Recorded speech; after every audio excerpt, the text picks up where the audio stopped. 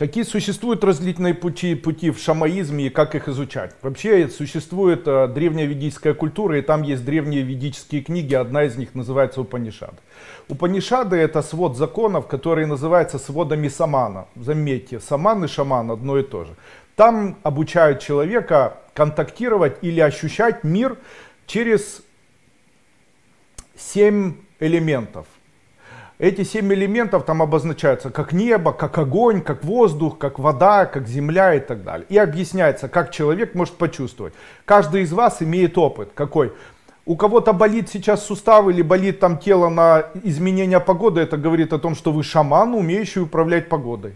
А если вы чувствуете чувства других людей, вы шаман, умеющий управлять чувствами других людей. А если вы говорите, я легко привлекаю в жизнь деньги, вы шаман, легко привлекающий или э, управляющий деньгами. А если вы там можете разозлить всех просто своим видом, вы шаман, который может разозлить всех своим видом.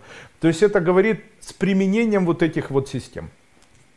Также шамаизм использует определенных духов, и там об этом говорится. Есть даже такие слоги, которые управляют этим, и человека а, обучают этому. Самые простые методы, которые могут помочь человеку из, из, использовать шамаистические или шаманистические практики, это использование вот этих элементов. Каким образом? Представляя себя горой, вас уже никто не выгонит.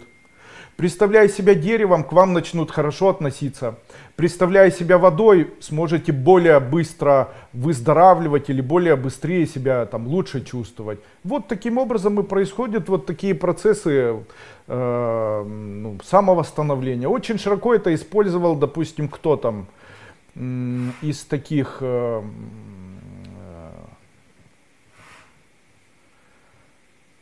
знаменитых эзотериков Советского Союза. Давайте кого-нибудь вспомним. Э, Левашов, допустим, да, вот почему-то Левашов.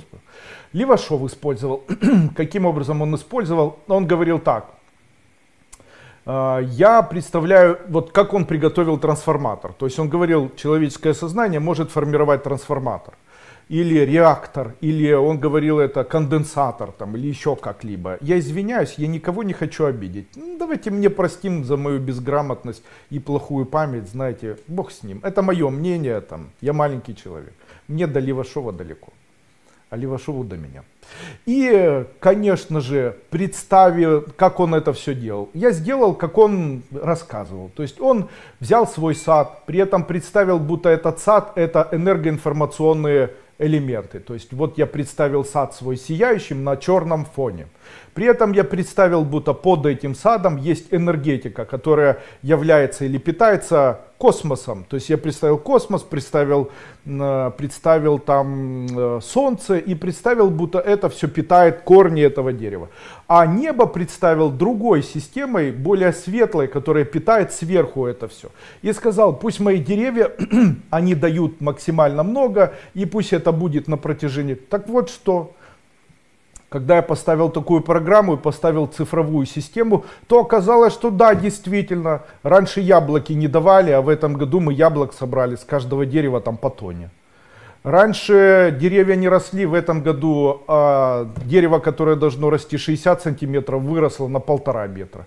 То есть я могу сказать, что да, действительно, те методы, которые он использовал, методы создания реактора, они могут быть исследованы, и да, их можно использовать. Можно ли проводить такие методы для того, чтобы деревья не замерзали и так далее? Ну вот я вам говорю, что можно. В прошлом году я поставил программы на виноградники, мы их не обматывали, они не вымерзли. В этом году было очень много винограда. При этом я ставил программу на деревья и виноградники, чтобы их там тля не трогала, скворцы не клевали черешни. И что вы хотите? Все это сработало. Черешни не были выклеваны, э, виноград тля не поела. То есть можно сказать, что человеческое существо имеет уникальные способности.